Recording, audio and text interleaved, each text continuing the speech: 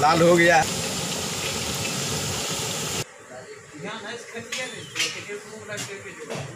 कालंदी नगर सदगुरु कबीर आश्रम के प्रांगण में मान्य विधायक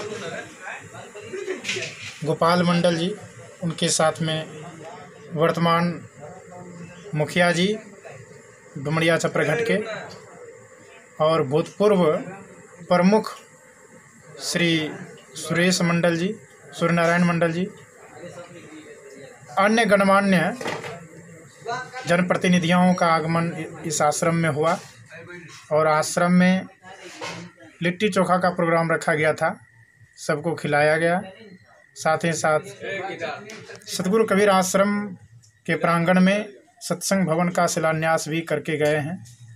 और मान्य विधायक जी ने आश्वासन दिया है कि मार्च तक में हम प्रयास करेंगे कि यहाँ का निर्माण आरंभ हो जाए। श्री सदगुरु देव की जय। भूतपूर्व मुखिया मान्य श्री भोला मंडल जी और अन्य जनप्रतिनिधि भी आए हुए थे। साथ में जिला परिषद वर्तमान मान्य श्री रिकू कुमार और गणमान्य लोगों का आगमन हुआ आश्रम में, ग्रामीणों का आगमन हुआ। सभी की उपस्थिति में शिलान्यास का कार्यक्रम किया गया। कालंदी नगर सतगुरु कबीर आश्रम के प्रांगण में सत्संग भवन का